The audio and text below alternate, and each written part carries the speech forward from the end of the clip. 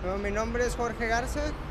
Yo esperaría de México que toda la inseguridad que hay se disminuyera, que el gobierno fuera más honesto porque se está viendo mucha desconfianza ya entre la gente y el gobierno, que se cuidara más de ecología, todo lo que son las zonas ecológicas, animales, en general, porque también estamos muy mal en todo ese tema de la ecología, la salud, la pobreza.